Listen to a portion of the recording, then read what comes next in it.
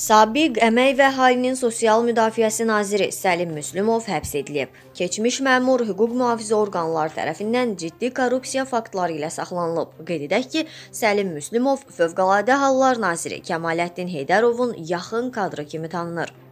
Heydərovun Dövlət Gömrük Komitəsinin sədri olduğu dövrdə Səlim Müslümov onun müavini olub.